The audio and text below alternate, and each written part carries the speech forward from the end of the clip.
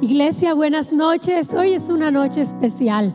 Hoy es un día para alabar al Señor. Es el día donde nos reunimos y nos encontramos para alabar el nombre del Señor, de ese Dios bueno y maravilloso. ¿Sabe que la escritura nos cuenta la historia cuando el pueblo de Israel salió de la esclavitud de Egipto.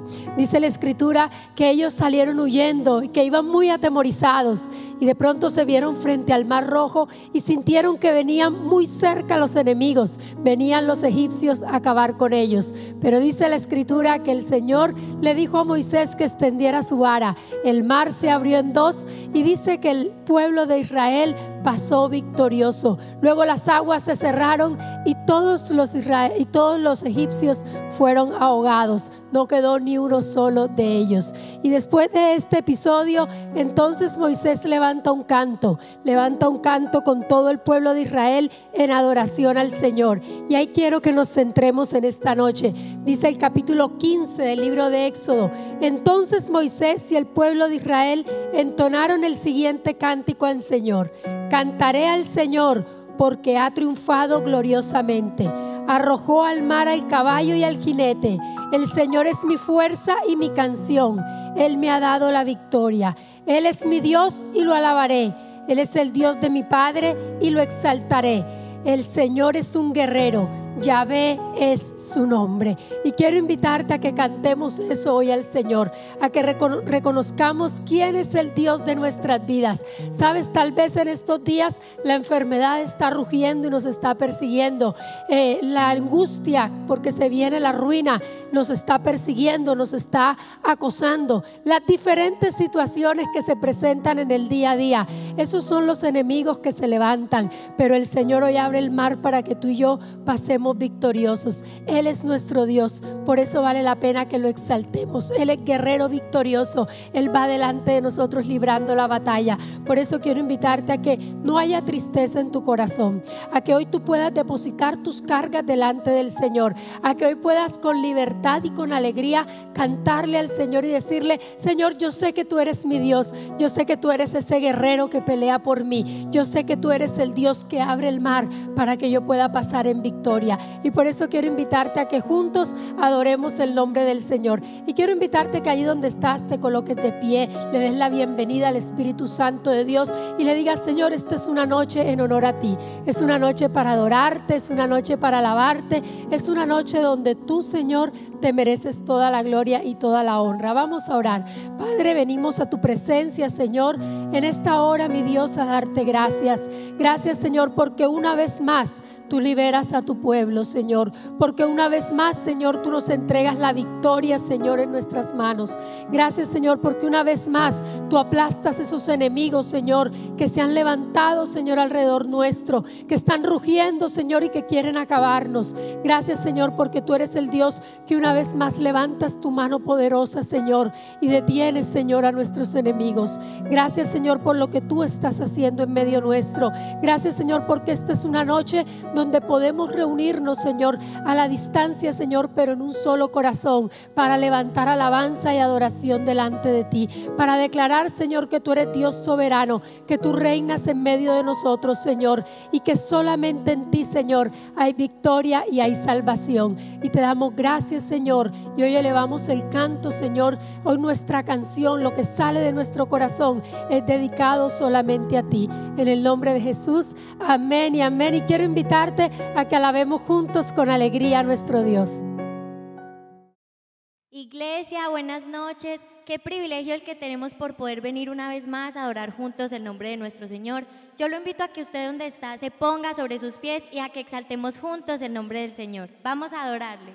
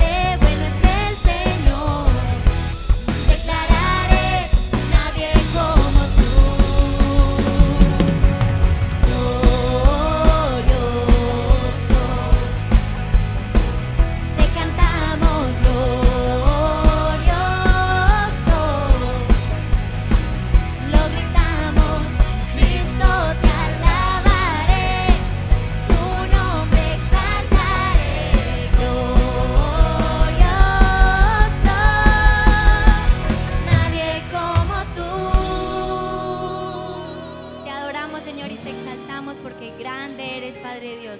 Vamos todos juntos a exaltar el nombre de nuestro Señor.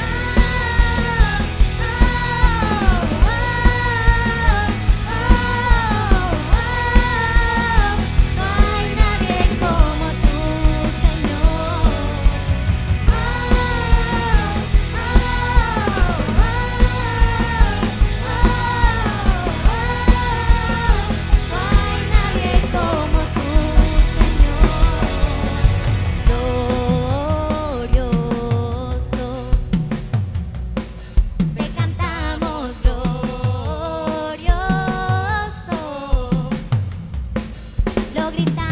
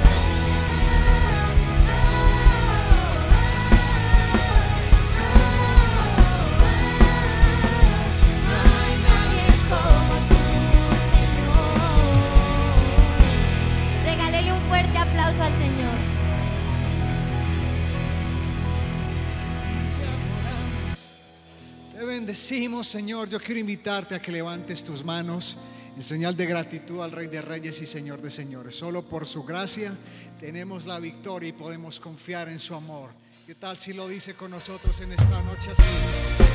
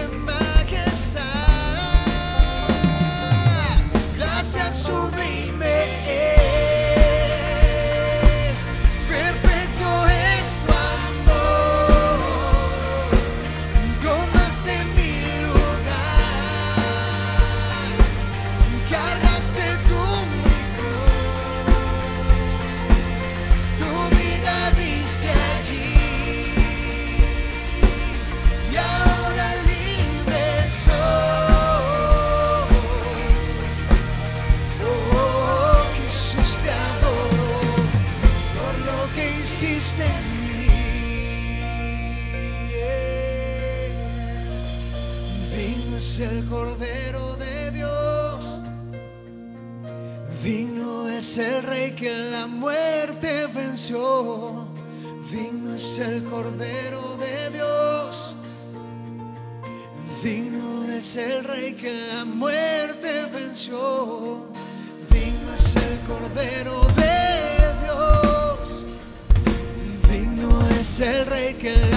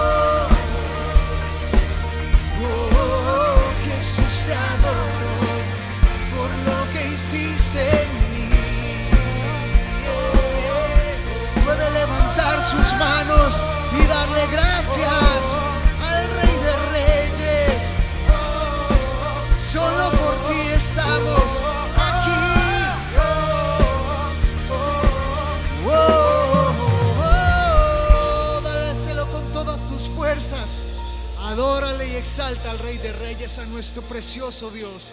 Que Dios te bendiga. La gracia del Señor que está en medio nuestro, nuestro Dios que es bueno, el Dios que siempre nos bendice. Y yo quiero invitarte a que adoremos al Señor también con nuestro diezmo y con nuestra ofrenda. Dice la escritura en el libro de Éxodo, capítulo 34, versículo 10. He aquí, yo hago pacto delante de todo tu pueblo.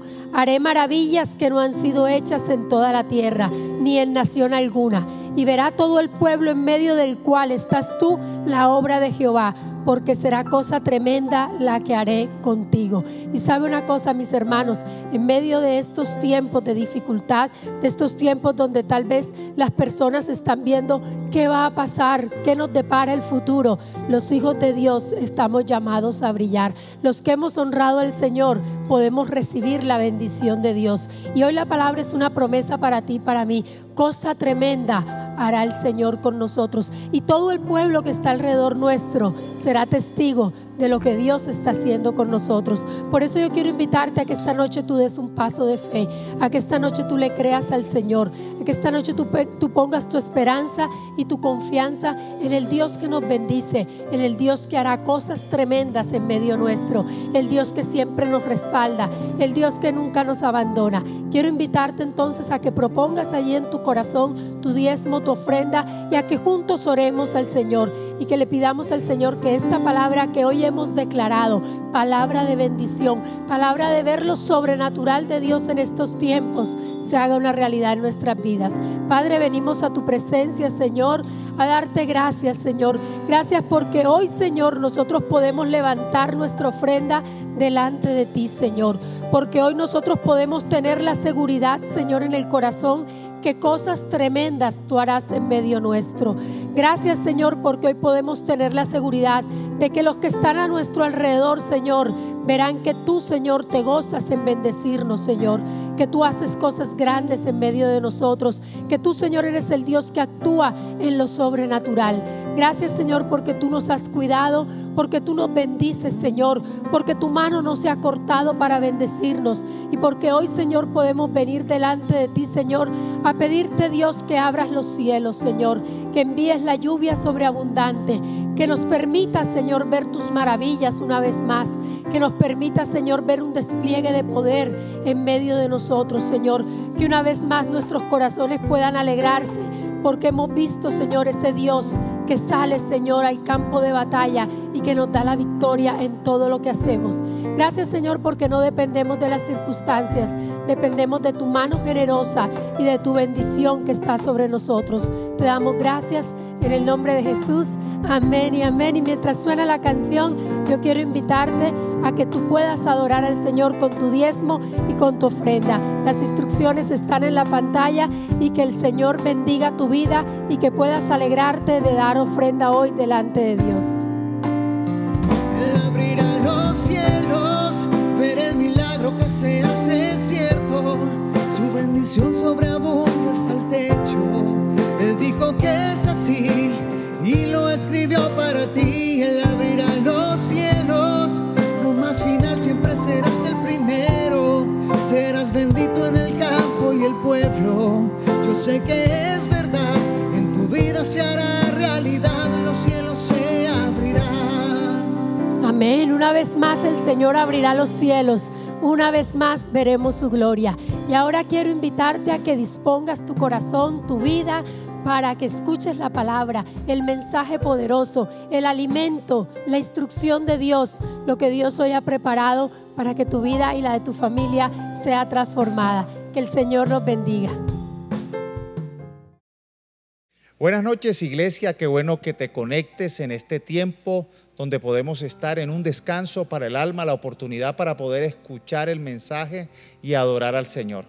Muchas personas me han preguntado y me han pedido que, les cuente el chiste porque pues tengo por costumbre cuando estamos en vivo poder compartir a veces situaciones graciosas o chistosas. Bueno, vamos a comenzar hoy con una. Eh, había un hombre que estaba en una cirugía y una cirugía de alto riesgo.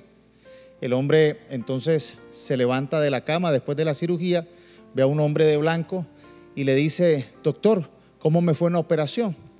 El hombre de blanco le responde, le dice, hijo, no soy el doctor, soy Jesús. Y dice, o sea que morí. No, soy Jesús, el de oficios varios, el doctor está en el almuerzo. Eh, hoy vamos a hablar acerca de cuál es el propósito de los milagros. Y necesitamos nosotros entender como creyentes ¿Cuál es el propósito del milagro? Realmente hay muchas personas que descalifican los milagros, algunos tienen una actitud equivocada, negativa acerca de los milagros, otros solo buscan milagros. Y ahora que estamos estudiando las cartas, eh, pues todos los libros o los escritos de Juan, estamos en el Evangelio, ahora vamos a las cartas de Juan y después Apocalipsis, hemos venido, de acuerdo al Evangelio de Juan, encontrando cuál es el propósito de los milagros. Porque muchos, por no entender cuál es el, enfoque y el propósito del milagro, se desenfoca. Entonces vamos al Evangelio de Juan en el capítulo 20, del versículo 30 al 31. Y con, este, con, este con estos dos versículos que vamos a leer, allí se encuentra enmarcado el propósito del Evangelio de Juan. Cuando usted ve la nueva traducción viviente, dice el propósito del, del libro y es el siguiente el propósito del Evangelio de Juan.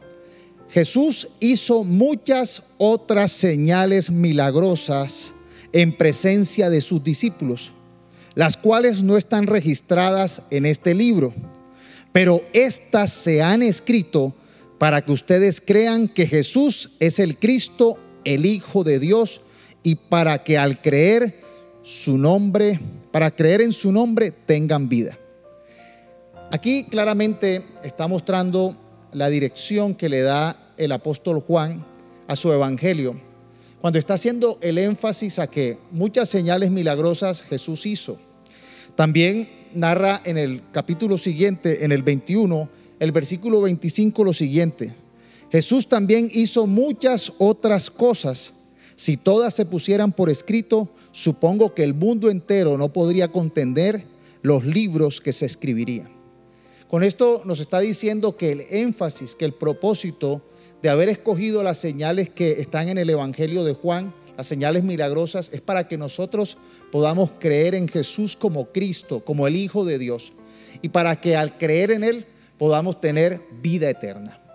Realmente las señales entonces aquí nos está mostrando que tiene el propósito para hacer evidencia de que Dios actúa de manera sobrenatural de que Jesús vino con el propósito de que podamos nosotros no solamente entender un evangelio de forma conceptual, sino que podamos experimentar las señales poderosas en nuestra vida, las señales poderosas que nos permiten nacer de nuevo, que nos permiten ser sanados, que nos permiten ser liberados para que podamos vivir una vida victoriosa.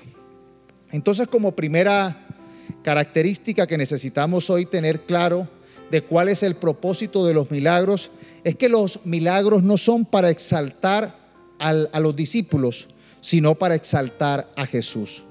Y es importante que lo entendamos porque muchas veces hay personas que creen que eh, si el discípulo o el siervo hace señales milagrosas, entonces se cree que tienen dones o habilidades especiales exclusivas de esa persona.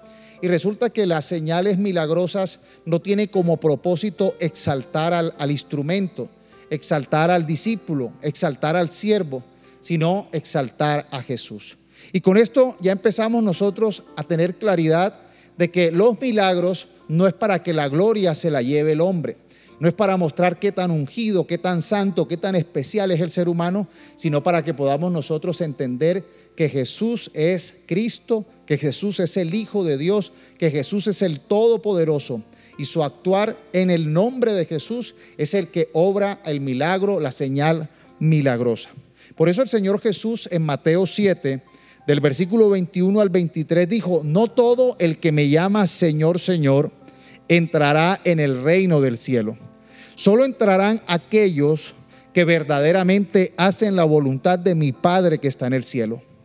El día del juicio muchos me dirán, Señor, Señor, profetizamos en tu nombre, expulsamos demonios en tu nombre e hicimos muchos milagros en tu nombre. Pero yo les responderé, nunca los conocí, aléjense de mí, ustedes que violan las leyes de Dios. Cuando nosotros entonces podemos ver que Jesús llegó hablando del mensaje de salvación, hablando del mensaje del reino de los cielos, vemos que envió a sus discípulos a anunciar que el reino de los cielos se había acercado. Y les dio una autoridad, les dio una comisión donde decían, sanen a los enfermos y proclamen que el reino de los cielos ha llegado.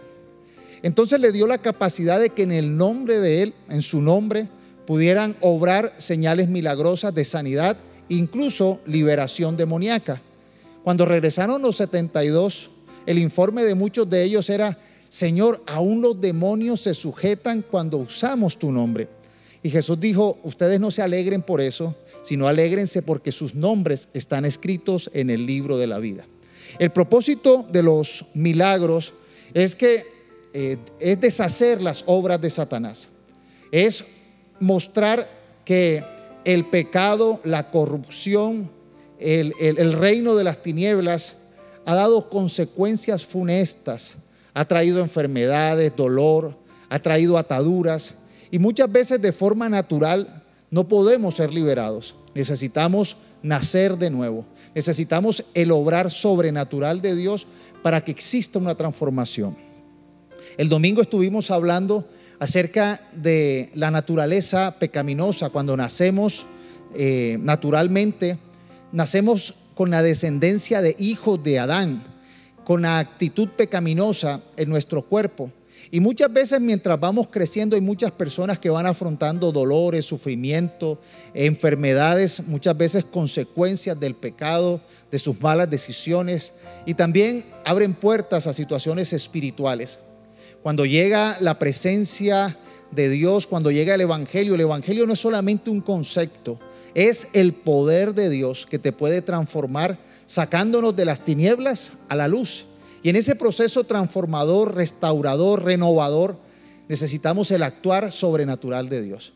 El solo hecho de una conversión, de que una persona pueda vencer eh, no por su propio mérito, sino por el beneficio del Evangelio, pueda vencer el reino de las tinieblas, pueda ser libre de la condenación de Satanás, pueda eh, tener la libertad y el perdón de la culpa y el perdón de la condenación por recibir a Jesús, ya es un acto sobrenatural. Pero además de eso, muchas personas cargaban con consecuencias de enfermedades, de aflicciones, de tormentos y con el poder milagroso de Cristo y sobrenatural eran liberados. Y hoy el poder de Jesús no ha cesado. Hoy el poder de Dios no, sigue teniendo importancia y relevancia porque somos los mismos seres humanos que si no fuera por el obrar sobrenatural, viviríamos en las consecuencias y en la depravación de este mundo.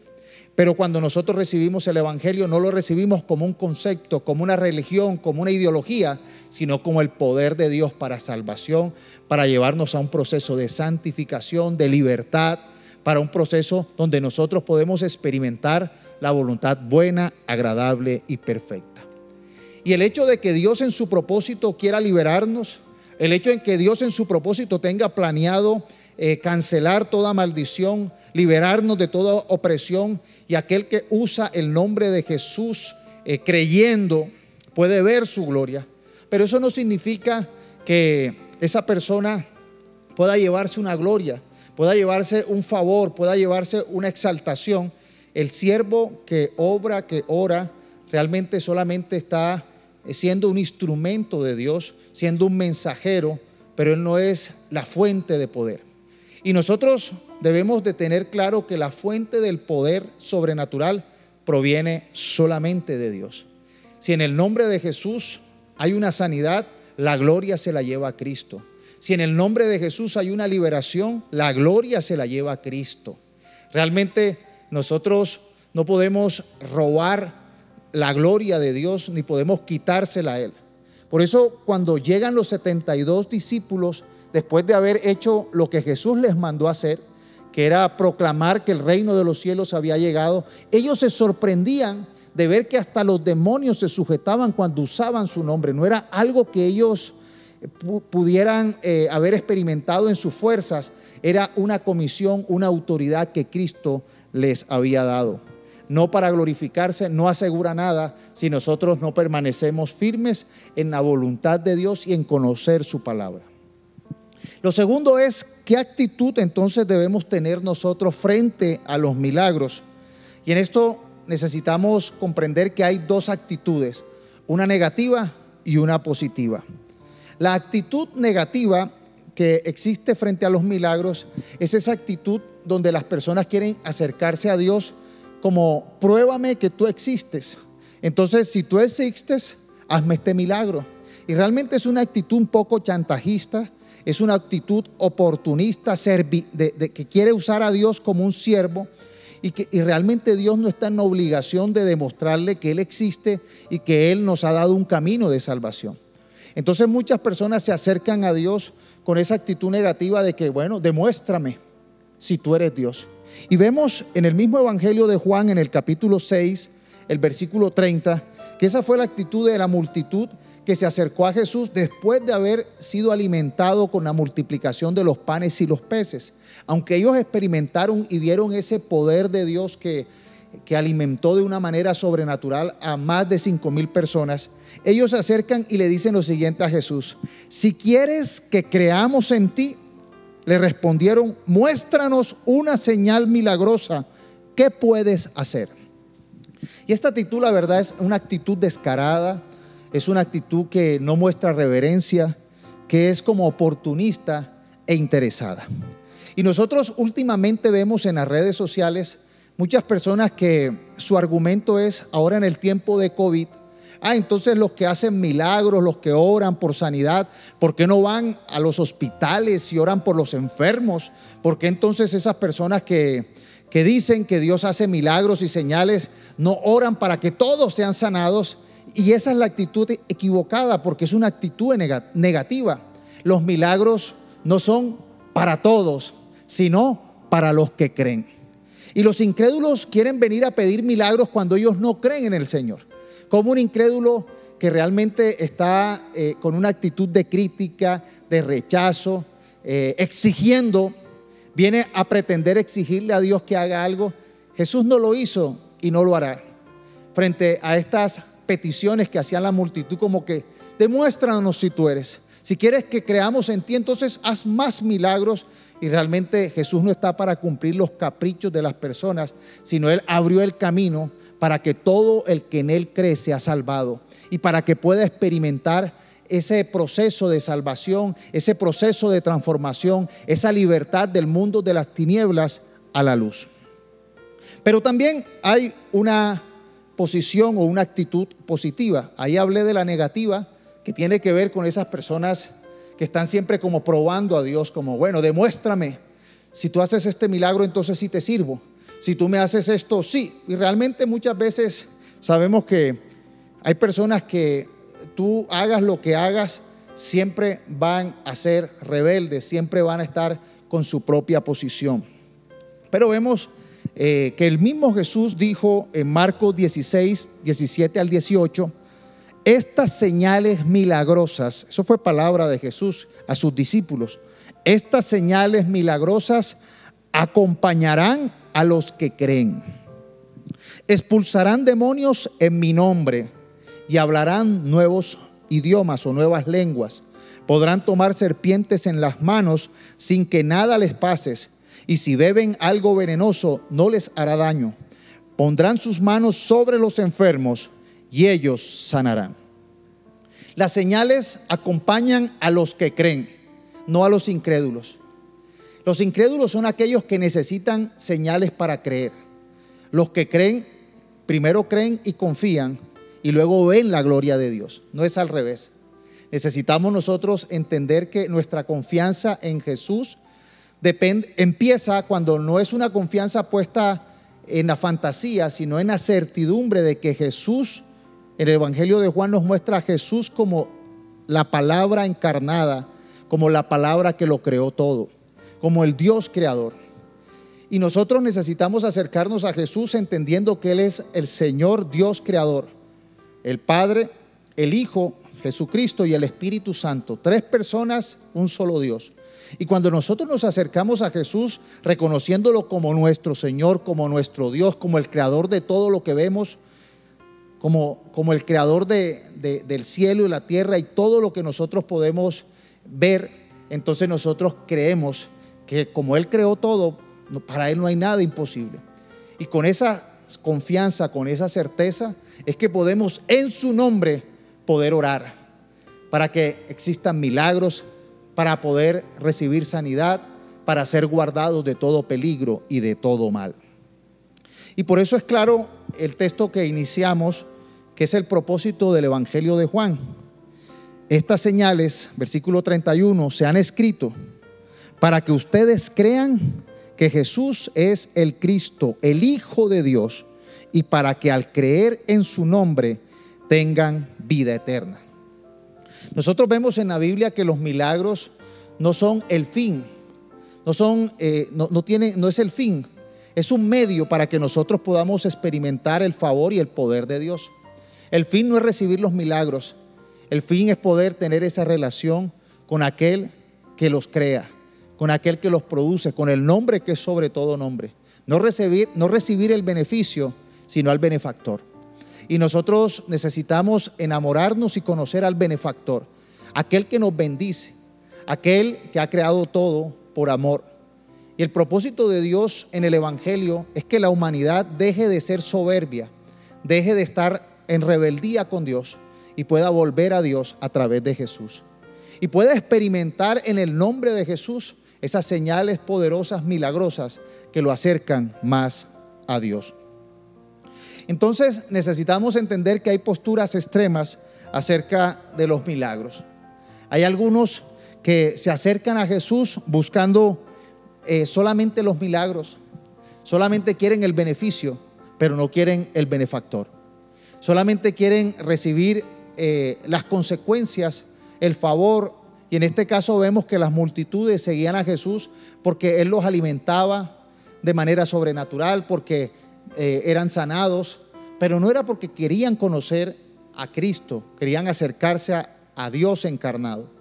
Y nosotros debemos de tener mucho cuidado porque esa actitud no logra nada. Vemos en Juan 6, 27 al 28, que Jesús le contestó a estos que pedían milagros para, que, para ver si podían creer en Él. Les contestó lo siguiente, les digo la verdad, ustedes quieren estar conmigo porque les di de comer, no porque hayan entendido las señales milagrosas. No se preocupen tanto por las cosas que se echan a perder, tal como la comida. Pongan su energía en buscar la vida eterna que puede darles el Hijo del Hombre, pues Dios Padre me ha dado su sello de aprobación. Cuando nosotros nos acerquemos al Señor, necesitamos acercarnos para poder tener esa relación perfecta, para que el reino de Dios llegue a nuestra vida. Y no solamente para, para recibir aquello que se pierde, aquella comida que se pierde. Y necesitamos nosotros permanecer en Cristo para que podamos disfrutar no unos cuantos milagros, sino el milagro permanente y constante hasta que veamos su gloria. ¿Qué más importante es la vida eterna? ¿De qué sirve de pronto aquellos que se alimentaron de, esa, multitud de pan que se, que se multiplicó de manera sobrenatural si no conocieron a Jesús? Si sus nombres no están anotados en el libro de la vida y si cuando mueran eh, no, no pueden gozar de la presencia del Señor. Lo más importante no es buscar los milagros como su fin, sino es conocer al Señor que hace los milagros y poder entender que su plan es un plan de salvación, es un paquete más grande que solamente aquellos milagros, sea por salud, sea de dinero, sea de relaciones. Dios quiere que nosotros pensemos en cosas más arriba de lo terrenal. Y vemos la otra postura, que es la postura de aquellos que desacreditan los milagros que son negativos, que dicen que los milagros no existen, que todo es una trampa, que todo es una farsa. En la época de Jesús existían esta otra postura. Aquellos que niegan el poder de Dios, aquellos que, que con sus calumnias, que con sus palabras, en esa época no había Facebook, Twitter, no había eh, redes sociales, pero ellos con su murmuración querían desacreditar a Jesús.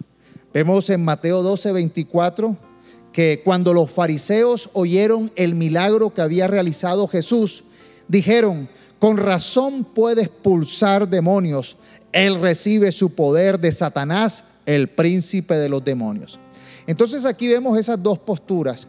La postura de aquel que solamente busca el milagro como su fin, como su máximo logro, y aquel que desprecia el, obrar sobrenatural de Dios. Aquel que tiene un espíritu religioso, aquí vemos a los fariseos que decían que lo que sucedía era del diablo. Y hoy vemos esas dos posturas. Las vemos de pronto con personas diferentes y de pronto con lenguaje diferente, pero vemos esas dos posturas de aquellos que solo buscan el milagro pero no quieren conocer a Jesús. No, disfrutan de la vida eterna ni de la relación especial con Jesús y aquellos que todo lo niegan, que dicen, no, eso no es cierto, eso es mentira, eso es el diablo, eso son, eh, son tramas, engaños. Y, esos fueron los fariseos. Esas dos posturas son equivocadas y necesitamos cancelarlas. Dios quiere que nosotros seamos entonces testigos de su poder sobrenatural. En Hechos 1.8 Dice Jesús, pero cuando venga el Espíritu Santo sobre ustedes, recibirán poder y serán mis testigos, tanto en Jerusalén como en toda Judea y Samaria y hasta los confines de la tierra. Jesús no quiere que nosotros seamos eh, repetidores como los loros, que nosotros seamos solamente aquellos que comparten ideología o que comparten doctrina. Jesús no invitó a los discípulos a que repitieran versículos bíblicos o a que dieran sermones llenos de palabras o de argumentación. Jesús habló que él esperaba de sus discípulos que fueran sus testigos. ¿Y los testigos de qué? Del poder del Espíritu Santo. Recibirán poder cuando venga sobre ustedes el Espíritu Santo y entonces serán mis testigos. Y nosotros hemos entendido que para poder ser verdaderos creyentes, para poder participar del reino de Dios, necesitamos nacer de nuevo. Y para nacer de nuevo, del agua, de la decisión de seguir a Cristo y de recibirlo, y de la llenura del Espíritu Santo. Cuando nosotros somos llenos del Espíritu Santo, quiere decir que el Espíritu Santo empieza a gobernar nuestra vida, a ser aquel que nos conduce a buenas obras y llenos del Espíritu Santo, llenos del favor de Dios, entonces nosotros podemos ver las señales milagrosas actuar. Y podemos no solamente verlas y experimentarlas, sino podemos en su nombre poder que otros experimenten el Espíritu Santo. Dios no nos ha llamado a una ideología o a una religión. Dios nos llamó, nos llamó a ser testigos de su poder, de un poder que se evidencia, del poder de transformarlo todo, de cambiar el destino de muerte, de fracaso, de esclavitud, a un, a un destino de victoria en Cristo Jesús. Por eso el propósito de los milagros es exaltar a Jesús, enamorarnos más de Dios, entender ese amor y corresponder a ese amor de Dios recibiendo a Jesús y poder experimentar entonces a ese Jesús que sana. Porque el propósito de Jesús es sanar nuestras dolencias, a ese Jesús que nos libera, que nos libera de toda opresión, que nos libera de todo yugo, de, todo, de toda obra de las tinieblas. Y poder nosotros recibir esa paz, ese gozo, ese favor y esa convicción de que si Dios está con nosotros, ¿quién contra nosotros?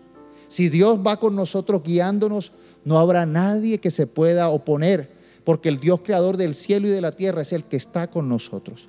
Por eso necesitamos transformar nuestros pensamientos y entender el Evangelio y entender que las señales milagrosas tienen como propósito entender que nuestras limitaciones, que nuestra humanidad, que nuestra naturaleza es no es un obstáculo, no es un impedimento, porque tenemos al Señor que actúa en lo sobrenatural, que no tiene límites, que no que para él no es nada difícil hacerlo, porque él todo lo puede hacer. Por eso las palabras de Jesús en Juan 14, 12 al 13 cobran hoy mucho sentido. Jesús dijo, les digo la verdad, todo el que crea en mí hará las mismas obras que yo he hecho y aún mayores, porque voy a estar con el Padre. Pueden pedir cualquier cosa en mi nombre y yo lo haré para que el Hijo le dé gloria al Padre. Si nosotros hemos escuchado este mensaje y lo hemos entendido, entonces nosotros tenemos un reto. Entender que si creemos, podemos experimentar las señales, podemos ver el obrar de Dios. Si hemos entendido el Evangelio, entonces ya no deja, ya, no es una religión, ya no es una ideología ni una doctrina. El Evangelio es el poder de Dios que podemos experimentar y podemos ser testigos. Yo he podido ser testigo del poder de Dios ustedes eh, en la iglesia hemos visto muchos milagros, el obrar poderoso de Dios sobrenatural, demostrándonos que Él es el mismo ayer, hoy y siempre. Él no ha perdido el poder. En su nombre es que somos salvados. En su nombre es que podemos tener el sueño de la resurrección, de la vida eterna. En su nombre es que sabemos que Satanás no tiene el dominio sobre nosotros, sino que somos libres. Por eso necesitamos nosotros confiar, creer. Y sabemos que las obras que Él hizo siguen vigentes porque Él ha dado un espacio de gracia para todo aquel que crea. Cuando nosotros oramos en su nombre, vemos sanidad, vemos libertad, la venda se nos es quitada. Toda actitud que de pronto nosotros decimos, no me nace, es que no me nace, Dios permite que nazca una nueva vida, un nuevo deseo, una nueva oportunidad. Y hoy necesitamos tanto el poder del Espíritu Santo cancelando todo espíritu de muerte. Desafortunadamente en este mundo vemos jóvenes eh, esclavizados al espíritu de muerte, personas en depresión, personas que no tienen sentido, que no encuentran el sentido a su vida, se autodestruyen, tienen pensamientos negativos. Y hoy el Señor quiere liberarte.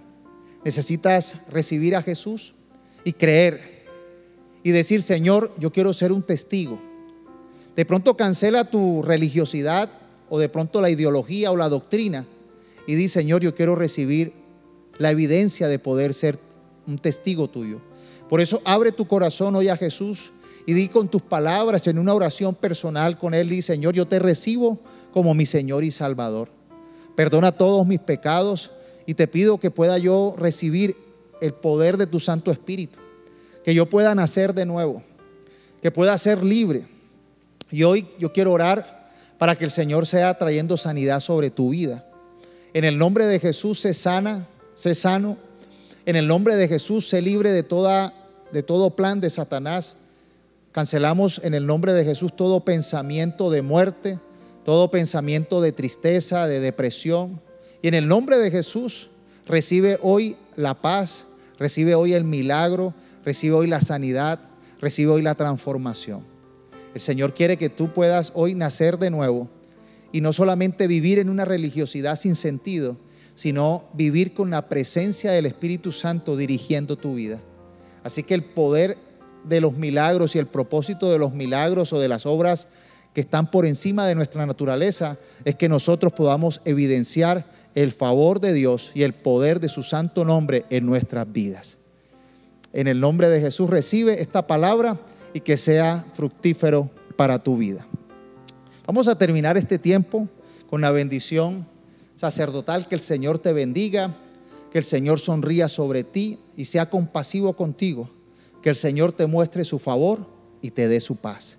Recibe la bendición del Padre, del Señor Jesucristo y del Espíritu Santo. Dios te bendiga.